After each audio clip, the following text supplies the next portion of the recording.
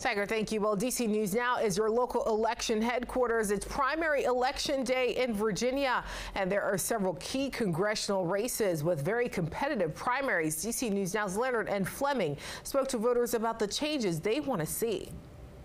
There are some key and competitive House races that are commanding voters' attention today, and that includes 2, 5, 7, and 10. And there's also a Senate race. I think it's definitely important, especially like for the younger generation, to vote.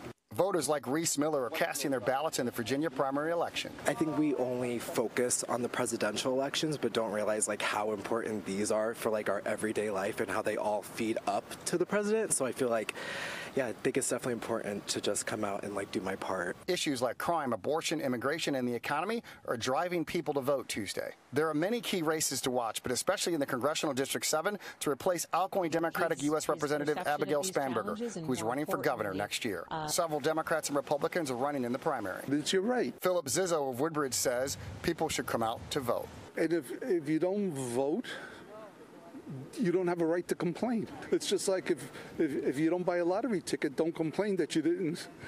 you know, you got to be in it to win it. Voting, I think, is very important. Dorothy Farley of Alexandria says there's so much at stake in every election. It begins here and bubbles all the way up to the top elections in November. The polls will remain open until 7 p.m. tonight for those hoping to come out and vote. Reporting from Woodbridge, Virginia, Leonard N. Fleming, DC News Now. Back to you.